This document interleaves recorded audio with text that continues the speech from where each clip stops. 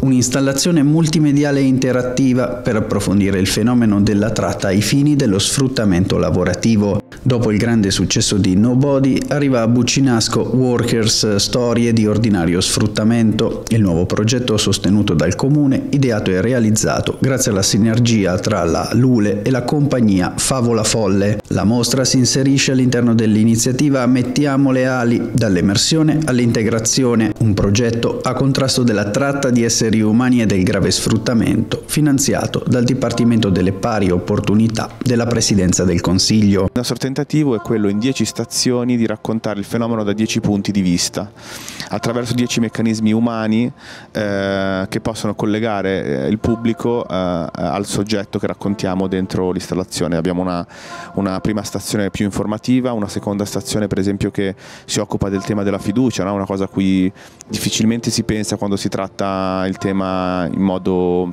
eh, come dire, legale o sociale. No? C'è una fiducia che investe, che di cui i lavoratori investono per esempio i, i proprietari e che viene negata quasi subito. No? Questo è un tema, è stato un tema molto interessante.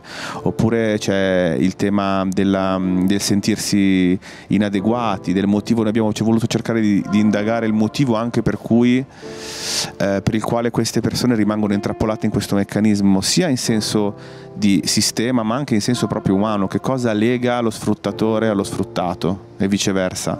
Questi sono i temi che cerchiamo di indagare e cerchiamo di far percepire sulla pelle dello spettatore non solo un racconto di questi meccanismi, ma anche proprio una sensazione di subirli, di viverli nel momento in cui eh, entrano in, un, in, una stazione oppure interagiscono con le installazioni che, tro, che, troviamo, che trovano nell'installazione. Buccinasco ha ospitato eh, un'altra mostra sullo sfruttamento sessuale Nobody che ha avuto un successo incredibile a Buccinasco come in realtà in tutto il sud-ovest Milano, è stata una mostra veramente molto partecipata che i cittadini hanno apprezzato. Quindi da assessore alla cultura ed anche ai servizi sociali eh, tento di, di legare l'ambito culturale con quello appunto del, con l'ambito sociale.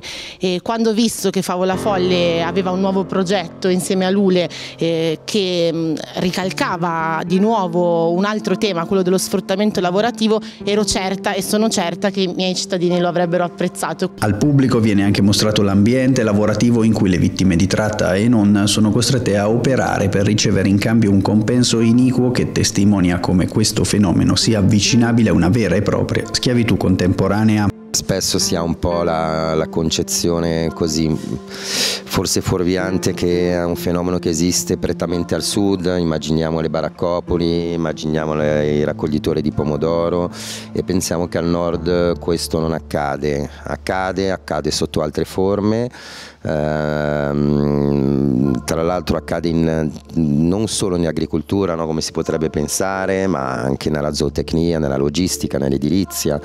Eh, con delle forme che vediamo a volte completamente legate ehm, a eh, delle forme di caporalato, dunque di intermediazione illecita, a volte con delle forme di intermediazione illecita, questo lo vediamo spesso tra virgolette formalmente legali come cooperative spurie nominali che sfruttano le persone vediamo una grossa mobilità su alcuni territori e stiamo ormai da eh, due anni anche in coprogettazione con istituzioni di vari territori quali le prefetture.